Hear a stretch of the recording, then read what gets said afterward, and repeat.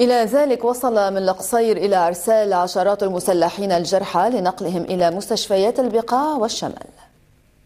نقل الصليب الأحمر اللبناني 28 مسلحا جريحا كانوا عبروا الحدود السورية اللبنانية إلى عرسال نقلهم إلى مستشفيات البقاع. وأفادت المعلومات بأن سيارات تابعة للصليب الأحمر اللبناني نقلت ثمانية جرحى سوريين إلى مستشفى راشي الحكومي بمواكبة الجيش اللبناني. وفي جب جنين نقلت سيارات الصليب الأحمر 22 جريحا إلى مستشفى فرحات وتوزع جرحى آخرون على مستشفيات البقاع. وتحدثت معلومات صحفية عن وصول 300 مسلح جريح من القصير إلى عرسال تمهيدا لنقلهم إلى المستشفيات في البقاع والشمال.